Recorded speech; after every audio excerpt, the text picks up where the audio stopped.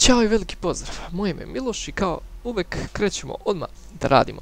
Ovako, danas ćemo raditi jedan zanimljiv tutorial, a to je kako da napravite dvojku e, ritam u FL Studio sa vašim znači, bubnjavima, njihovim komponentama. Ovako, ukratko samo, znači dvojka ritam to je ono tupa, tupa, tupa, tupa, tupa, znači to koristi se dosta kod nas u ovoj balkanskoj regiji ovdje u narodnoj muzici, ono tipa za kolo ili neki, neke narodne pesme, nebitno i naravno za neke ekstremnije pravce, ono, metal i šta već.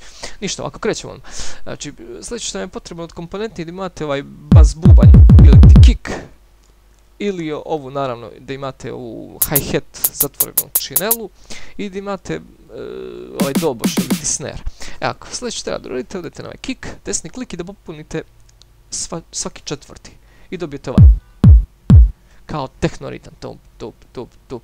Sad što treba da odete na činelu, svaki drugi popunite, znači možete svaki četvrti, ali bolje svaki drugi, jer je puni zvuk. Sljedeće što treba da uradite, da odete na snare i svaki treći popunite. I sad će se čuti ritam.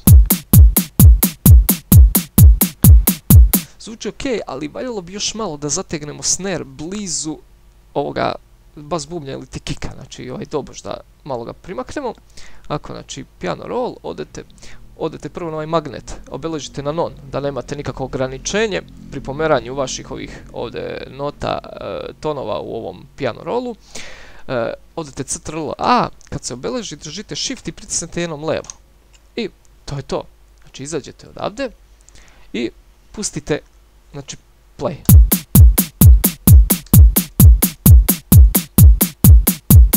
Već izgleda zategnuti, evo malo brže, znači negdje 150, tako.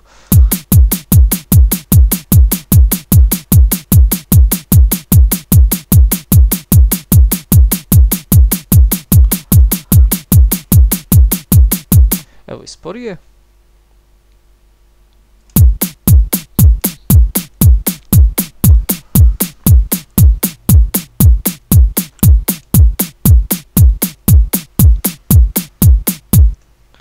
I to je to uglavnom, ako me neko nešto pita u suštini zašto nisam odmah stavio na dvojku ovde, znači ne valja, pravi grešku, znači na svaki drugi, ako beležite pravi grešku, a svaki treći malo ga povuče, on ovde ga stavi da je dvojka, ali zapravo nije, nego je negdje između dvojke i ove trećeg ovog ovde, da kažemo, ovog ovde podeljka ovog e, kor koraka ili step kako ga zovu, ovako izgleda da je na dvojci, ali on je zapravo, znači, kao što sam rekao, između dvojke i trojke. Ako stavite na dvojku, dobit ćete Znači ono, neki baš čudan ritam. I to je to što se tiče ovoga. Znači evo još jednom pogledajte, znači svaki četvrti ide za kick, svaki drugi ide na činelu i svaki treći se obeleži pa odete i CTRL shift i držite ovaj CTRL A, pardon, obeležite i shift i levo.